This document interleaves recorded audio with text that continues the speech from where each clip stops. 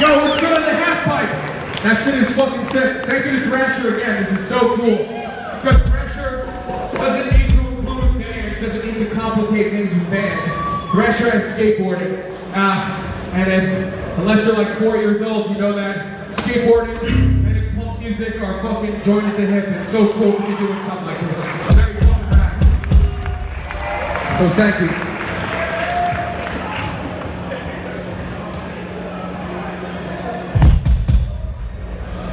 When I was a young lad, I got a record called Start Today, and uh, it had a profound effect on me.